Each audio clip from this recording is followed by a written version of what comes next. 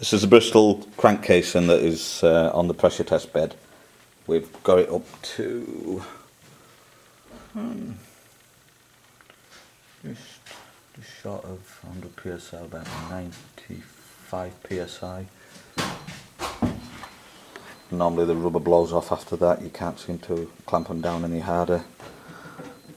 We've checked all the block round, there's no leaks internal and no leaks external. Uh, we're just going to give you a bit of a demonstration of how much pressure these things are holding when we test them. Yeah.